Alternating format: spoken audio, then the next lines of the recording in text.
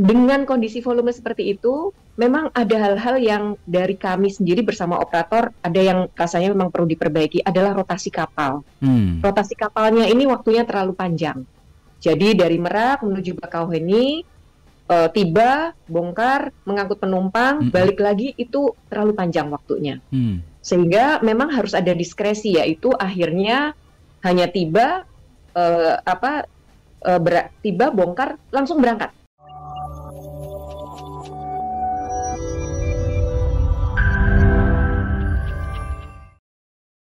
titik krusial yang Mbak Adita yang terjadi menuju ke akses pelabuhan Merak. Ada tumpukan kendaraan bahkan netizen ini kalau di media sosial tuh ramai banget Mbak sampai 19 jam gitu ya stuck kemudian juga antriannya sampai belasan kilometer meskipun sudah ada delaying systems. Kalau dari Kementerian Perhubungan sendiri catatannya seperti apa Mbak untuk angkutan penyeberangan ini? Dari mulai uh, tol Tangerang Merak sampai ke Pelabuhan Merak sampai ya. menyeberang ke Bakauheni mungkin. Ya, ini uh, meskipun sudah berlalu, tapi kami sekali lagi mohon maaf ya uh, terjadi peristiwa itu dan uh, sejak adanya peristiwa itu memang Pak Menhub beserta Pak Menko itu langsung datang ke lokasi ya, mm-hmm. karena harus betul-betul tahu ini sebenarnya permasalahannya apa yeah. dan langsung harus dicari solusinya karena masyarakat nggak bisa menunggu ya. Betul. Itu terjadi kira-kira H-3, 4 dan H-3 tuh Mas, jadi ada dua hari semalam ya. Jadi yang pertama setelah kita coba lakukan evaluasi ini memang sekali lagi volumenya itu tinggi sekali pada H-4 H-3 dan bahkan melebihi angka prediksi nasional. Hmm. Ada 68% peningkatan dari hmm. hari biasa ya kendaraan itu. Oh, dari tahun lalu maaf. Hmm. Hari dari hari biasa bahkan bisa sampai 300-an persen. Wow.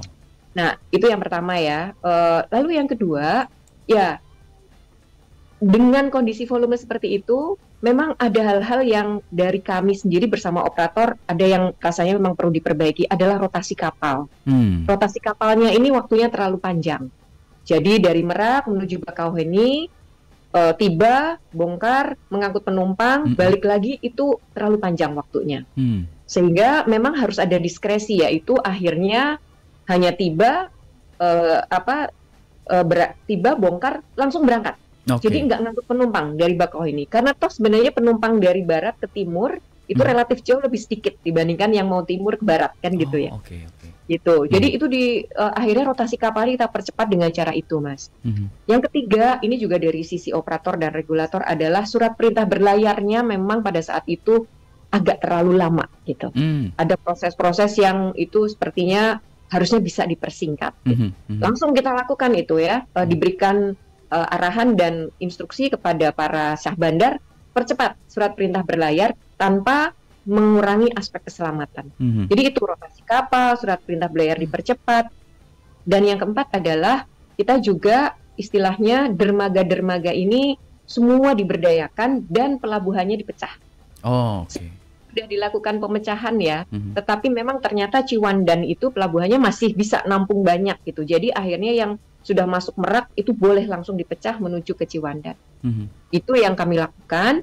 Nah ini yang dari sisi masyarakat mungkin juga sudah dengar. Mm-hmm. Ternyata dari sekian ratus ribu kendaraan yang masuk itu 6 38 persen tidak pegang tiket gitu kan. Aduh, iya. Nah itu yang uh, sepertinya memang uh, coba-coba dan apa istilahnya go show aja lah gitu. Uh, Siapa uh, tahu ada tiket gitu kan. Uh, uh, uh. Nah ini juga sebenarnya ada faktor uh, ketegasan juga ketika di delaying uh, sistem itu kan ada screening tiket nggak -hmm. bawa itu waktu itu memang ada petugas-petugas yang menurut kami harusnya lebih tegas untuk tidak membolehkan masuk tetapi melihat kondisi ya masyarakat udah pengen mudik yeah. akhirnya diperbolehkan -hmm. gitu ya -hmm. nah ini juga menambah padatan dan kemacetan yang begitu panjang karena sebenarnya mereka nggak boleh berangkat tapi mm -hmm. masuk pelabuhan mm -hmm. sehingga kan nunggu lama bahkan mm -hmm. ada yang tidak keluar dari antrian harusnya masuk ke parking zone gitu ya. Mm-hmm.